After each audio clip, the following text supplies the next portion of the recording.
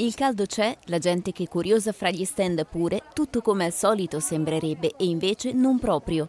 Quest'anno la tradizionale fiera merceologica di San Pietro si svolge a Cremona in una sola giornata, domenica, e non per l'intero weekend come accadeva nelle scorse edizioni. In quanto fierista che non è di zona siamo molto dispiaciuti da aver tolto il sabato che secondo me era proprio anche un'occasione di festa per la città di Cremona perché io è tanti anni che vengo e ho sempre visto tanta gente.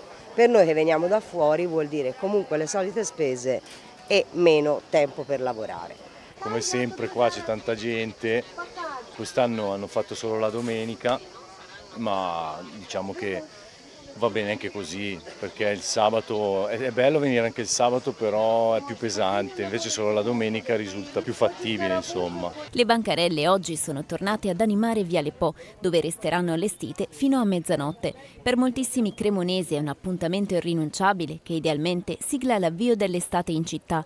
C'è chi si aggira di prima mattina per trovare gli articoli più interessanti, qualcuno invece arriva per pranzo in modo da assaggiare piatti tipici di altre zone d'Italia, come la porchetta di Ariccia. Qualcun altro infine fa capolino verso sera abbinando le vasche in fiera a un giro al Luna Park. Abbiamo preso dei taralli, delle coperte, delle borsette, avrei preferito anche al sabato, però se hanno deciso di fare solo un giorno va bene lo stesso. Sto ancora curiosando, però ho già fatto shopping. A casa mia era tradizione. Il giorno di San Pietro si doveva venire a fare lo shopping. Il prossimo appuntamento è con lo spettacolo pirotecnico giovedì 29 giugno alle 22.30, quando i fuochi illumineranno il cielo di Cremona per circa 20 minuti.